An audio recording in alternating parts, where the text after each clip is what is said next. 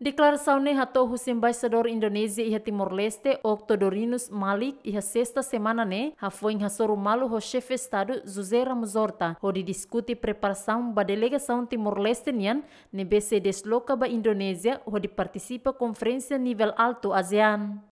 Tuir Octodorinus, conferência ne importante, tamba membro ASEAN sira, setur hamutuk, hodi diskuti konaba assunto principal sira, ligado ho ASEANian. Timor-Leste mos hola parte iha conferência refere, hodi halo preparação dia kliutan, moluksai membro permanente ASEAN.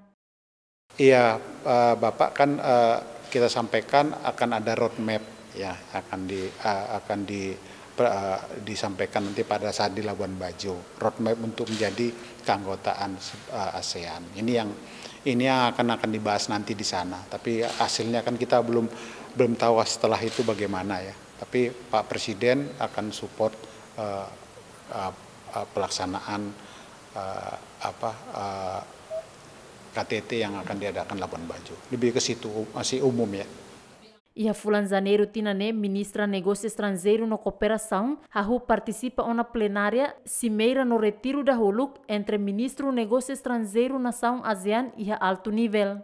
Além de diretor-geral Sira e instituição Estado Railaran Mos, retang ona convite de participa encontro entre diretor-geral instituição Estado Nação membro ASEAN.